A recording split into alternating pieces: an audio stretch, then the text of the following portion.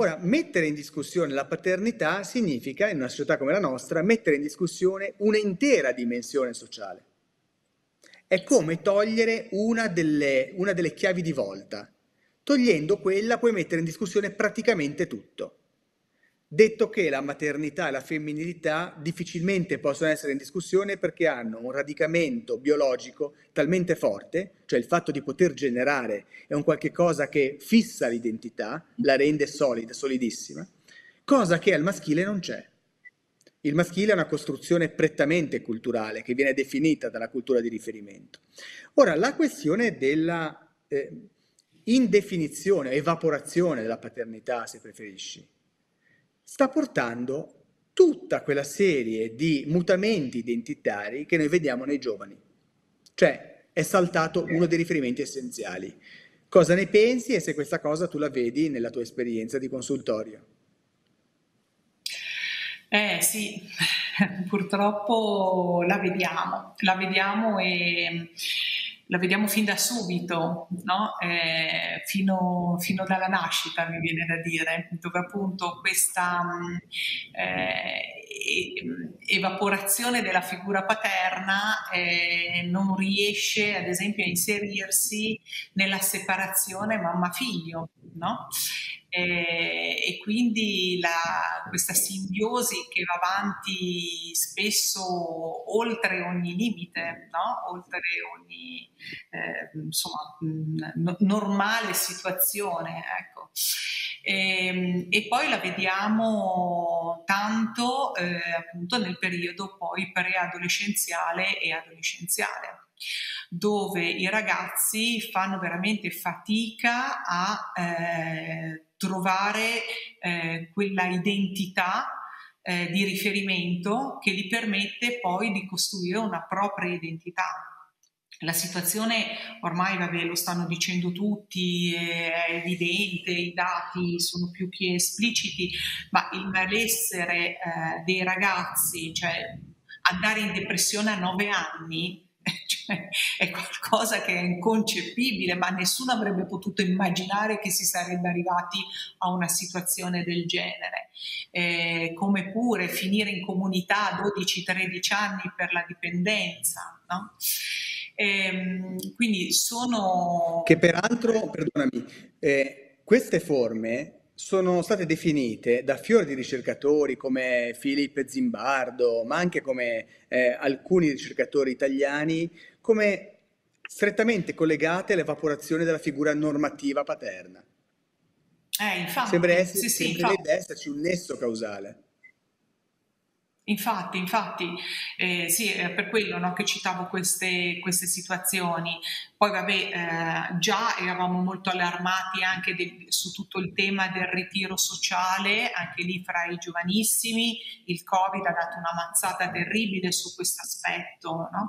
Quindi insomma tutte espressioni di un malessere profondo eh, che mh, sono appunto riconducibili a, all'evaporazione della figura eh, paterna. Cioè, il, eh, allora, io eh, credo molto nella sapienza della creazione. No? Allora, il fatto che eh, un, un, cucciolo d'uomo, un nuovo essere umano, eh, nasca eh, all'interno di una relazione, e fra l'altro non una relazione casuale, eh, temporanea, ipotetica, ma una relazione eh, d'amore reale e concreta fra un uomo e una donna che eh, in questa relazione d'amore dovevo prendersi cura eh, del, del, loro bimbo, eh, in questa differenza di giochi no? e, e, di ruoli, di identità maschile e femminile, eh, porta con sé una sapienza profondissima perché eh, è dal confronto che io posso acquisire la mia identità, ma devo avere un confronto eh, di, di, figure dire, forti, chiare. Eh, paradossalmente eh, ne ragionavamo stamattina con mio marito no? sulle, eh, sulle mh, impostazioni educative.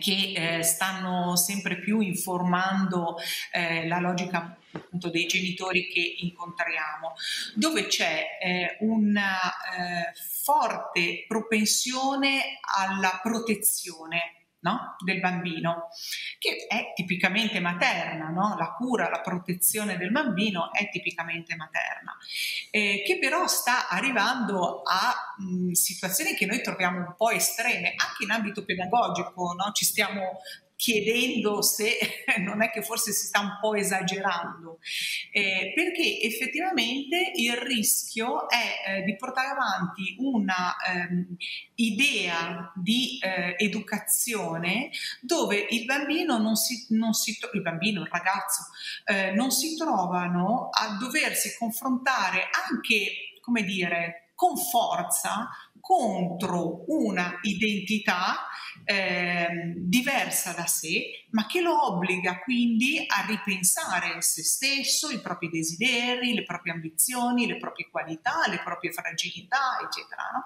È sempre tutto un tappetino di gomma, diciamo, io e mio marito quando ne parliamo di queste cose, no?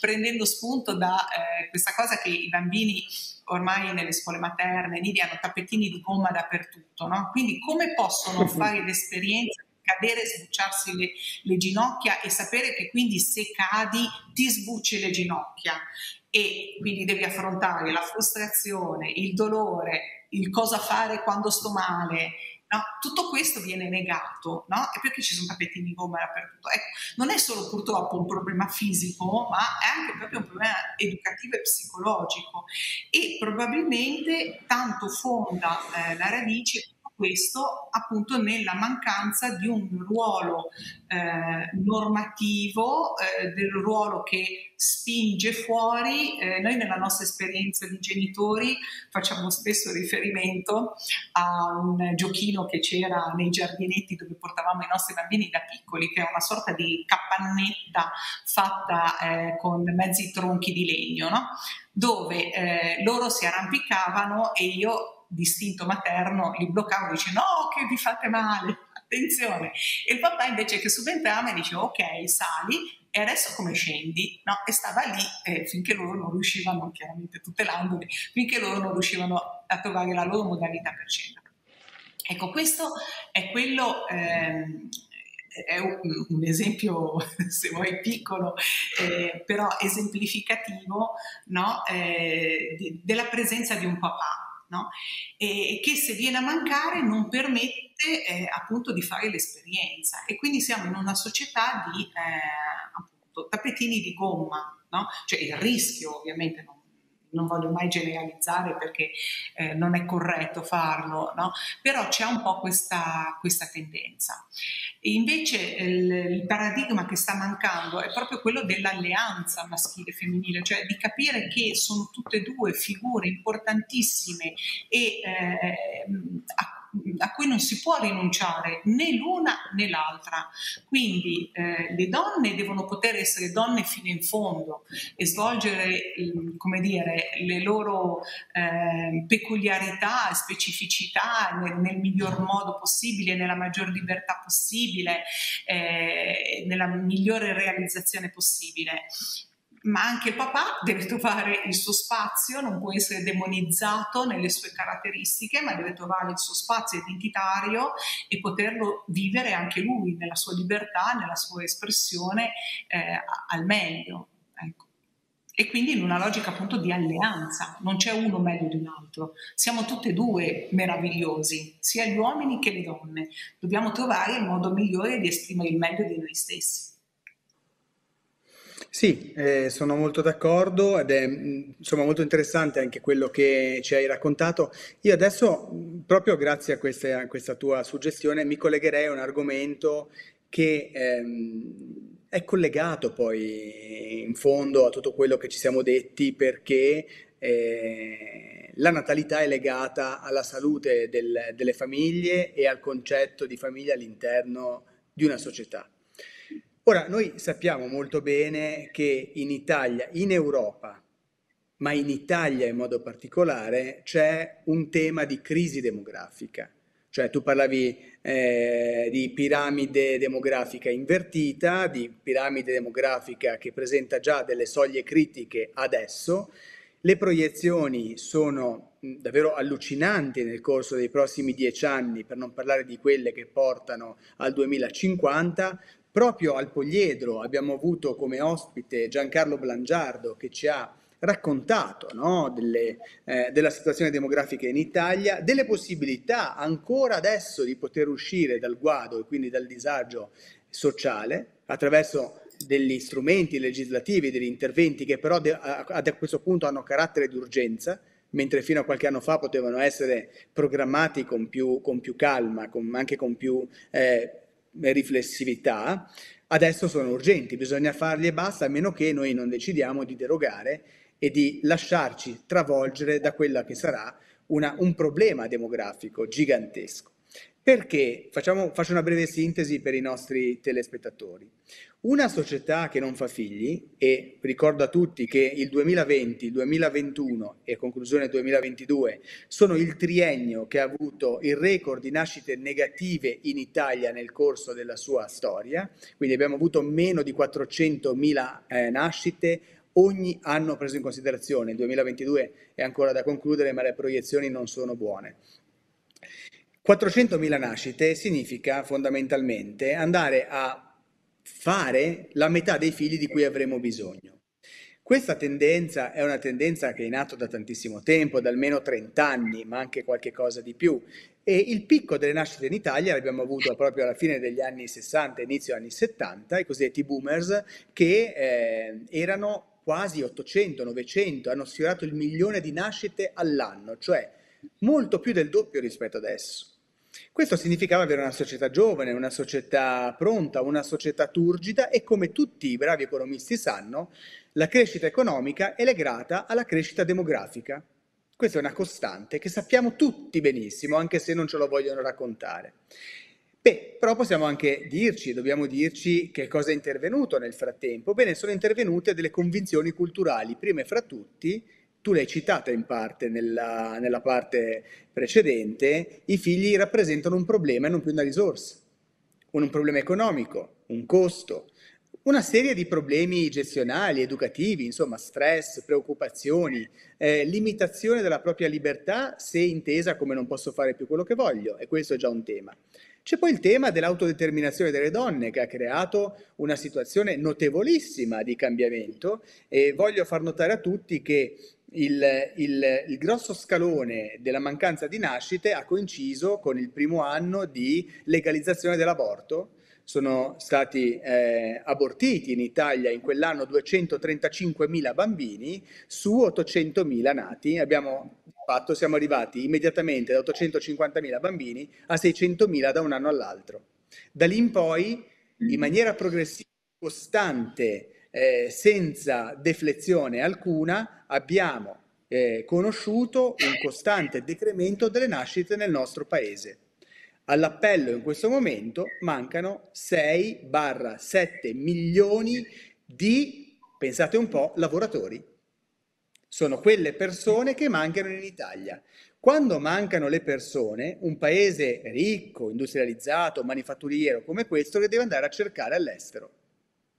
In Italia abbiamo in questo momento circa 6 milioni di immigrati che vanno a colmare quel vuoto. Non perché gli immigrati non debbano venire, ma certamente noi abbiamo una necessità di avere persone che ci aiutino. E lo vediamo ad esempio con i nostri anziani, le badanti, cioè sono tutte persone di origine straniera che si occupano dei nostri vecchi. E anche qua ci siamo confrontati tantissime volte. Ora, il tema della denatalità te lo pongo dal tuo punto di vista, chiedendoti cosa ne pensi, qual è la tua esperienza in merito e cosa ne pensano le persone che vengono a trovarti. Allora, eh, diciamo che la sensazione eh, a livello proprio di popolazione è che ancora non ci si renda conto davvero eh, il grosso dramma che ci aspetta da qui a pochissimo, è dovuto appunto al, a questo drammatico calo delle nascite. Già qualcosa si vede, no? le, ci si rende conto che le case restano vuote, non si riescono né a vendere né ad affittare perché non interessano a nessuno. Eh, alcuni esercizi commerciali chiudono perché non hanno i clienti, le classi chiudono perché non ci sono alunni Insomma, un po' di cose eh, si, cioè la gente inizia a sentirle sulla pelle, però forse eh, il reale dramma ancora non è percepito. Il reale dramma non è percepito. E noi, ehm, come dire, eh, la, la situazione è eh, tale che appunto eh, ci si chiede come mai la politica sia così in ritardo su questo aspetto, perché appunto fior fior di studiosi, dal Mangiardo a Rosina, a, a tantissimi altri, eh, denunciano questa situazione veramente da molto molto tempo, eh, eppure eh, sembrava di dire, non lo so, eh, sembrava di parlare al vento, ecco, eh, nonostante eh, dati alla mano. Eh, noi adesso, insomma, la speranza è che eh, la, la, gravità è ormai tale che non so se si riuscirà a tornare indietro, eh, non penso effettivamente, ma almeno a arginare un pochettino la situazione si potrebbe, anche perché in realtà quando noi incontriamo eh, le coppie che pensano di eh, avere figli, che convivono, che vogliono sposarsi, eh, il desiderio di avere dei figli loro ce l'hanno. Spesso ti dicono, ah sì, beh, un paio di figli, no? Prima, poi quando arriva il dunque, eh, però il lavoro non è ancora stabile, eh, ma la casa è più piccola, dobbiamo cambiare casa, costa troppo, l'affitto non riusciamo ad arrivare. E quindi, insomma, se va bene si limitano un figlio, se non addirittura rinuncia, arrivano proprio a rinunciarci, no? ma non perché loro non vorrebbero, ma perché si trovano in un contesto che eh, non li sostiene in questa scelta. Appunto, in una visione, in una situazione molto autolesionista, no? Come Stato, cioè noi non offriamo nessun supporto a queste giovani coppie ovviamente poi tutto questo lo ripagheremo in maniera pesantissima. Si calcola che nel 2050 il 9,5% del PIL dovrà andare sugli anziani per sostenere la spesa sanitaria. No? E, eh, e teniamo presente che sulle famiglie attualmente andando a prendere la, non, non, tutto il PIL, solamente la, la, parte dedicata alla protezione sociale, l'Italia dedica alle famiglie il 6,2%, il 57% lo dedica alle pensioni di quello che viene dedicato normalmente alla protezione sociale. Benissimo, perché effettivamente in questo momento eh, gli anziani eh, vivono una situazione migliore rispetto alle famiglie con figli. Cioè, se vuoi cercare la povertà in Italia, devi andare a cercare le famiglie con figli. E, e questo è drammatico eh, non solo perché eh, ovviamente incide eh, pesantemente sulla natalità, ma anche sulla qualità della crescita di questi ragazzi. Allora, è stato fatto da um, Openopolis, mi pare un'indagine eh, interessante su eh, chi può permettersi una settimana di vacanze no? durante l'anno. Bene, allora il 37%, ehm, chiaramente con grosse differenze fra nord e sud, comunque in media nazionale il 37% delle famiglie intese fiscalmente, no? quindi anche quelle dove c'è una persona sola. Eh? Eh, 37% delle famiglie non possono permettersi una settimana di vacanza e va bene. Se però vai a vedere le famiglie con due figli già salgono al 44%. Ora tu dici, vabbè, la vacanza è un di più, fino a un certo punto, perché la vacanza è quel momento dove si può stare in un ambiente relazionale, sereno, tranquillo, senza problema di andare a lavorare, eccetera, e quindi tendenzialmente magari creare anche un clima relazionale più positivo. Ma eh, per dei ragazzi diventa l'occasione per uscire dal proprio normale ambiente e eh, conoscere nuove cose, eh, nuovi input e quindi anche dal punto di vista formativo e culturale ha un'incidenza importante. No?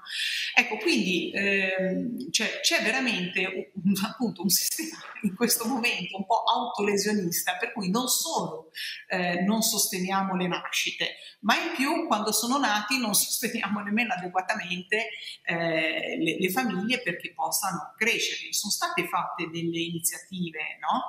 eh, ma eh, sono sempre un po' sporadiche. Adesso vabbè, l'assegno per figlio, meno male, eh, già un primo piccolissimo accenno, però già le famiglie con tre figli il bonus in più non sono riusciti ad averlo, per dire. Eh, però tante altre cose sono, non so, il bonus sport, il bonus cultura, no, sono tutte cose appunto un po' sporadiche che non entrano invece in un sistema che reputa effettivamente che le famiglie e i figli sono una risorsa per la società e non un peso. Questo forse è un po' perché le famiglie vengono sempre infilate nel cantone dei servizi sociali, no? quindi abbiamo un po' questa mentalità eh, per cui la famiglia è sempre un problema, no? la, la, concepiamo appunto eh, secondo la logica dei servizi sociali e ci dimentichiamo che invece è una risorsa straordinaria. E poi eh, alle volte mi viene da pensare che anche il fatto che noi i bambini non li vediamo più, No? Non, non, li vediamo perché non nascono, non li vediamo perché sono a scuola, non li vediamo perché sono a fare le varie attività. Per le strade i bambini non si vedono. Quindi viene, alle volte mi viene a pensare che lontani dagli occhi, lontani dal cuore. No? Io per fortuna vivo in un posto di villeggiatura, quindi almeno durante l'estate ho questo grande privilegio di vedere le famiglie che vengono in vacanze e sono con i bambini e si riempie di bambini e vedi i genitori che giocano con i figli, eccetera è una cosa bellissima, ma che se non ce l'hai davanti alla vista, poi ti dimentichi che esiste questo tipo di realtà no? e dai priorità a tutta una serie di altre cose a livello societario. Eh certo, oltretutto, eh, riprendendo un po' di, di, cose che tu hai detto, eh, ci troveremo di fronte anche a una difficoltà sulle pensioni, banalmente, perché eh, in questo momento eh, la, la, piramide dice che un lavoratore mantiene un pensionato, nel 2035 e poi nel 2050 si dovrebbe invertire la proporzione e quindi avremo due pensionati per ogni lavoratore, cosa che ovviamente renderà il sistema insostenibile. Cioè chi pagherà queste pensioni? Chi farà fronte ai bisogni di una popolazione anziana, cui ovviamente bisognerà eh, dare cura e per bisogni che cresceranno, perché se la vita media continua ad allungarsi, e questo è un bene, si allungano e, si, aumentano anche i bisogni di queste persone, degli anziani e dei grandi anziani. Quindi queste sono domande che rimangono inevase e non si vede all'orizzonte una, una risposta strategica. Questo è una cosa, non so come, hai detto bene, è un'emergenza a cui però non viene data una vera risposta. Non so se hai questa sensazione, io sono terrorizzato e l'altra domanda che ti faccio, attaccata a questa, è ovviamente cosa pensi del... Eh, ecco, questo a me fa abbastanza arrabbiare per la superficialità con, con, la, con il quale viene raccontata questa soluzione. Beh, allora la soluzione è quella di introdurre immigrazione dall'estero. Ecco, a me questa cosa, detta così, te lo dico francamente, non soddisfa e nemmeno convince.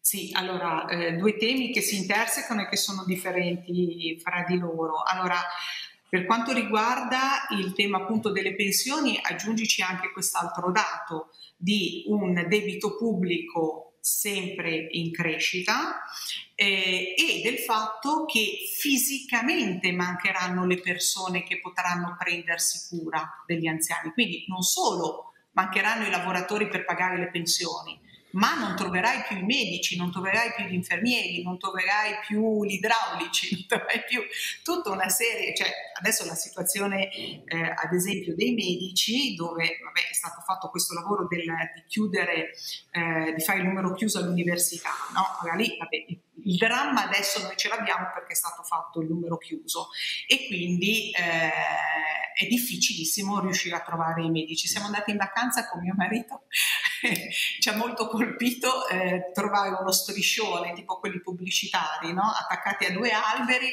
dove diceva la mh, mm, casa di riposo tal dei tali cerca medici, chi è disponibile si rivolga in comune. Ecco, eh, cioè, esemplificativo del dramma, no? nel senso che erano messi così male che sono arrivati a pensare di dover fare uno striscione eh, da quanto era drammatica la situazione. Ecco, lì diciamo è, è dovuto a una cattiva programmazione, eh, però questa situazione noi poi ce l'avremo perché fisicamente non sono nati i medici, non sono nati gli infermieri, non sono nati tutta una serie di altre eh, persone. E, ehm, il, so che l'associazione Famiglie Numerose sta puntando al terzo figlio, nel senso il ragionamento che potrebbe avere un significato è eh, famiglie che sono già aperte, perché qui è un problema proprio di urgenza ormai, non è più un discorso, vabbè, ragioniamoci e ci lavoriamo a lungo termine, ma proprio perché è un problema di urgenza, dicevo certo che le famiglie che sono già interessate ad avere dei figli e hanno già avuto un figlio, due figli, potrebbero anche essere interessate a fare il terzo figlio no? e quindi mettiamo nel, nella situazione appunto eh, migliore per poter avere il figlio, così insomma nel giro di breve eh, possiamo migliorare un po' la situazione. Perché il, il, grosso problema è non solo appunto che tante famiglie non fanno più figli, ma quelle che le fanno ne fanno uno solo e poi ci si ferma lì, no? Quindi... Ehm, quindi insomma, soluzione a breve termine, eh, ormai abbiamo fatto passare così tanto tempo che eh, sono veramente difficili da trovarsi. Certo, se eh, ecco, alcune sperimentazioni che stanno partendo eh, sia in ambito di conciliazione famiglia e lavoro, dell'armonizzazione dei tempi, quindi della famiglia e del lavoro, sia in ambito appunto di quoziente familiare piuttosto che altre soluzioni eh, concrete ed economiche partissero da qui a pochissimo, sicuramente qualcosa farebbero, ma non potrebbero invertire il trend cioè comunque ci sono sempre più, eh, sempre meno donne in età eh, fertile che possono avere figli, cioè ne sono già nate di meno eh, e quindi già ce ne sono di meno. E poi c'è il tema sì, dell'immigrazione, eh, anch'io ho sentito questo, ehm, allora mh, intanto non è reale, cioè eh, là dove abbiamo avuto degli immigrati nel giro di eh, poco eh, si sono adeguati al trend eh, di fertilità degli italiani. Quindi come dire, saranno arrivati, ma eh, insomma non, non, non, incidono poi positivamente eh, nel, nel, modificare questo trend demografico. E, e, poi ovviamente dall'altra c'è tutto il grosso problema eh, dell'integrazione. No? Allora, eh, noi ci siamo trasferiti da Genova al Ponente Ligure, quindi pochi chilometri, a dire la verità. Eppure eh, insomma, ci è voluto del nostro per riuscire a inserirci comunque in un ambiente culturale che, pur essendo italiano, pur essendo pure della stessa regione, era comunque sicuramente diverso da quello da cui noi arrivavamo. Oltre a eh, tutto, come dire, anche un po' il, la sofferenza personale, perché eh, comunque sia, eh, è chiaro che dove sei cresciuto hai relazione, hai affetti, hai tante cose che il momento che vieni sradicato dal tuo paese per andare eh, in un altro posto perdi. E questo eh, ovviamente il nostro esempio è banale, ma eh, invece quando parliamo di immigrazione eh, questo è molto forte. Allora, perdere le proprie radici eh, intanto eh, crea mediamente dei grossi scompensi. No? Noi avevamo fatto tempo fa un progetto che si chiama proprio Dalle radici alle ali, no? eh, è un progetto educativo, però per dire eh, che le radici sono fondamentali, è molto interessante tutti gli studi che sono stati fatti ad esempio sugli africani eh, immigrati o insomma, a forza con i tempi della schiavitù eh, in America, no? dove sono stati completamente sradicati. Tutti gli effetti fortemente negativi e problematici che hanno portato poi eh, nella società dove erano stati trasferiti, anche al di là poi del tema proprio della schiavitù. Quindi intanto il tema eh, di essere sradicati. Eh, in secondo, io credo che eh, tante delle persone che immigrano in realtà avrebbero preferito starsene a casa propria, eh, appunto nell'ambito eh, della, della, propria realtà, della propria cultura, se eh, le, le situazioni e le condizioni gliel'avessero permesso. E poi eh, appunto bisogna fare un lavoro di integrazione che intanto non può essere né improvvisato né eh, si può pensare di farlo nel giro di pochi tempo, ci vogliono dei decenni per permettere l'integrazione di più culture. Certo che può essere anche un arricchimento, per amor del cielo, no? perché eh, il, il, parlarsi, cioè l'Italia è un esempio eh, evidente no? di eh, quanta ricchezza è nata nel confronto fra popolazioni diverse ma con calma, con i tempi che serve, l'integrazione culturale. Pensare di risolvere il problema demografico così eh, con un schiocco di mani facendo arrivare, mancano tot lavoratori, eh, rimpiazziamo con tot persone che vengono da altri paesi, no, eh, socialmente non credo che sia sostenibile. Sì, sono d'accordo, non credo anch'io che, che lo sia. Speriamo, insomma, che si possa ragionare in maniera eh, un pochettino più puntuale e organica rispetto a questi, a questi problemi. Sia il grandissimo tema della denatalità, che è l'oggetto poi di questa nostra puntata, sia anche il, il tema dei flussi migratori, che possono essere gestiti meglio con anche un altro tipo di offerta sull'integrazione rispetto a quello che facciamo, facciamo, adesso. Silvia, io ti voglio ringraziare per la disponibilità, per essere stata con noi, per averci raccontato e, e, e detto delle cose di estremo interesse per, per, tutti che di fatto comunque ci incrociano, eh, perché quando parliamo di famiglia e di natalità è una cosa che riguarda tutti noi. Quindi grazie, grazie infinitamente. Grazie, grazie a voi. Un caro saluto a tutti. Un saluto.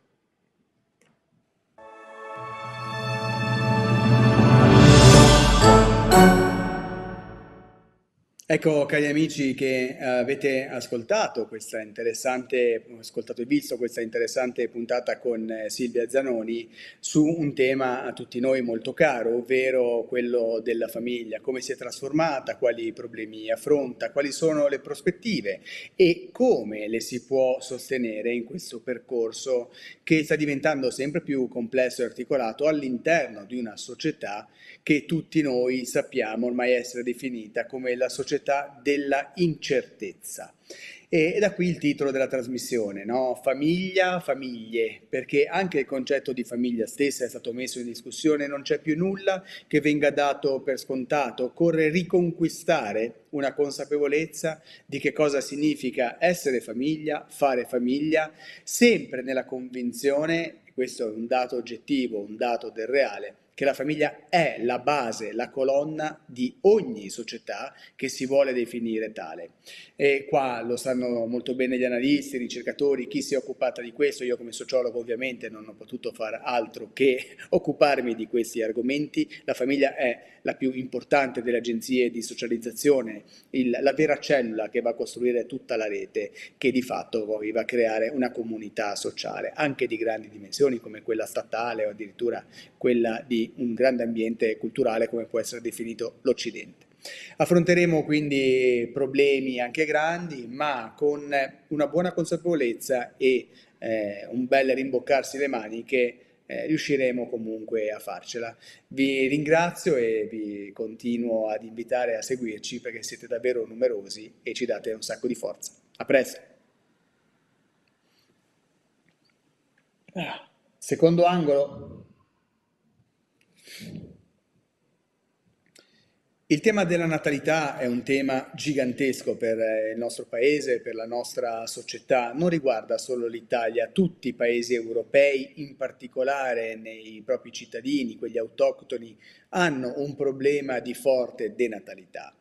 Ci sono degli elementi diversi che sono entrati nella, eh, nell'andare a creare questo tipo di situazione. Il primo è un elemento culturale, cioè noi abbiamo iniziato a percepire i bambini e i figli, in buona sostanza, come un problema prima che una risorsa, ribaltando una delle convinzioni, degli asset culturali che hanno di fatto sostenuto invece l'Occidente nel corso dei secoli i figli come risorsa, come possibilità di tramandare un patrimonio genetico, culturale e anche sociale eh, da una generazione all'altra. Questo anelito è stato perso, è una forza che è venuta meno, lo, lo si percepisce, lo si eh, capisce chiaramente. Contemporaneamente però eh, la denatalità, cioè il fatto che facciamo pochi bambini nei paesi occidentali, pone dei problemi di sostegno degli asset sociali, così come li abbiamo conosciuti. Banalmente il welfare state, che si sostiene proprio attraverso il lavoro dei più giovani. Chi pagherà i servizi sanitari per gli anziani e i grandi anziani? Chi pagherà le pensioni? Quali saranno i lavori che andremo a dover definire, visto che i bambini sono pochi? Ad esempio perderemo insegnanti, perderemo cattedre, avremo meno scuole e così la ripercussione su tutto, eh, su tutti gli anelli della catena, quindi dalle attività sportive all'università ai consumi che verranno eh, a ridursi. Quindi un tema davvero di una portata enorme e fino ad ora almeno eh, si un, non si vede un disegno organico di risposta ad una che è definita ormai l'emergenza forse più importante del nostro paese in maniera particolare. Poi sapete che la Liguria è eh, tra le regioni più vecchie del mondo, con un'età media avanzata eh, altissima rispetto ad altre realtà e anche per percentuali di anziani rispetto ai giovani. Quali sono quindi le prospettive di sviluppo? Beh, eh, qua c'è da chiederselo e c'è anche da interrogare la politica su quali sono gli strumenti che vorrà mettere in campo per andare a trovare soluzioni rispetto a quella che è appunto, come vi dicevo, una vera e propria emergenza. Ma non demordiamo, continuiamo a fare informazione e servizio pubblico. A presto!